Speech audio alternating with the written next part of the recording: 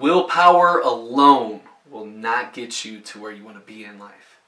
What is up, my winning friend? My name is Zach, and welcome back to another video. And today, I'm going to share with you one reason why willpower is not enough. And we're getting started right now. Willpower is not enough to make things happen.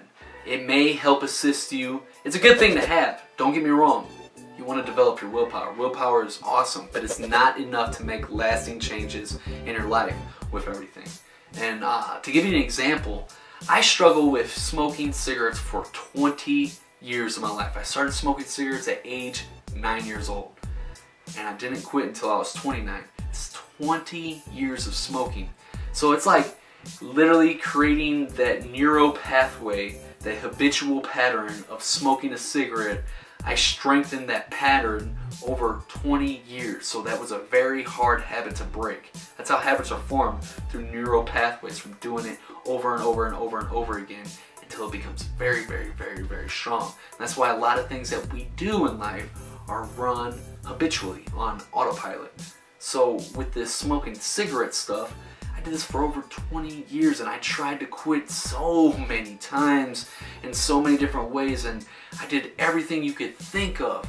Everything, cold turkey, all this other, whatever you want to name it, I've tried it and it never worked. It may have worked for a week, it may have worked for a day, it may have worked for a month, but eventually my willpower caved in and I went back to smoking every single time and this was so frustrating and, and devastating and it, it started messing with me psychologically. I got to thinking like, does this have control over me? I mean, like, this is the hardest thing I've ever had to deal with in my life.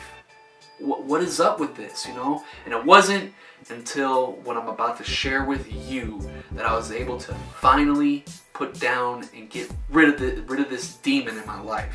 Now, before I dive into this one reason why willpower is not enough, if you want some extra tools that are going to help you crush your goals and just dominate your life, head on over and download my free Goal Getter cheat sheet. It's going to help you tear it up, my friend. You could do so right there. I'll also link it up in the description if you want to continue to watch this video and go to it later. It's in the description. A lot of people, including myself before I learned this process, think that change is some long, hard, difficult process that it just it takes a long time because we've tried to do things on willpower and we failed over and over again like I did with cigarettes and we, and we begin to think that change is just some long hard and difficult uh, hard process and and and the reason why it is is because willpower alone is not enough. We don't have an effective strategy to make lasting changes.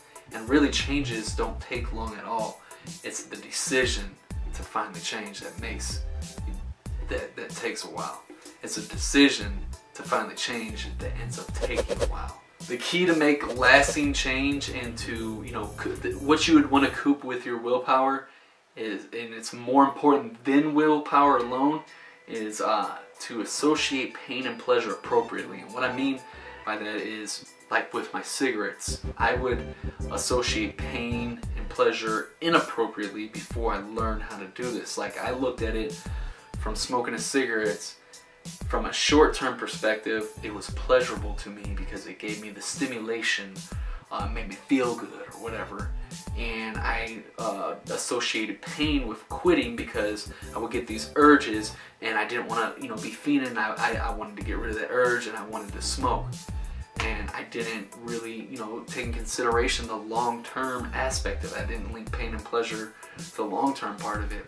And by shifting that focus and thinking of the long-term in mind, because if you want any great success in life, if you want anything if you want to be happy in life, you're going to have to push through some short-term pain to achieve long-term happiness um, and long-term pleasure. So I had to start associating pleasure with, you know, quitting smoking cigarettes and having my health back and pain of not smoking. So I had to switch it up to the short term. If I don't quit right now, that's going to cause me so much pain because I'm to have health problems in the future. I'm going to miss out on my sons being born and all that. You have to link these things appropriately. And for the purposes of this video, I'm not going to go all the way into detail on that. However, I did make a video on linking pain and pleasure appropriately, and you can check it out right here. Or I'll leave it in the link in, in the description, either way. After we link the pain and pleasure appropriately, we got to find other things to replace these habits, to replace these behaviors. We gotta replace them with empowering behaviors. So for me, for instance, I was doing push-ups every time I got that urge because the urge would only be momentarily. I'd only have to win the moment. And really what I was really uh, craving at the time was stimulation. It wasn't the cigarette itself, it was the stimulation, the habit of stimulation. So I replaced it with doing push-ups. And after doing this, you had to reinforce that behavior every time you get that urge, constantly reinforce it until it becomes uh, ingrained into your neural pathways.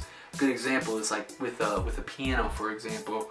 Uh, if you get a piano tuned up, you know, so it can sound great and spit out a great melody, uh, if you just do it one time, the strings are so strong and thick that they will become loose again because they pull, it's so strong so you have to come back and condition the strings multiple times you have to have someone come and tighten those strings multiple times until you condition those strings to stay stretched out at that length same with our behavior so you have to condition that pattern numerous times until it becomes habitual to us. If you enjoyed this video and you want to watch more videos on willpower, self-discipline, or just crushing your goals, be sure to check out this playlist right there.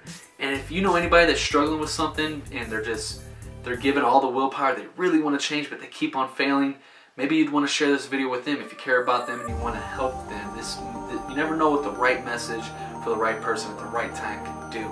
That's what we're all about right here on Women's Day. And as always, if you want to crush your goals and you want to dominate your life, make sure you hit the subscribe button and tap the bell notifications. That way you don't miss anything. Thanks for watching my winning friend. I will see you next time.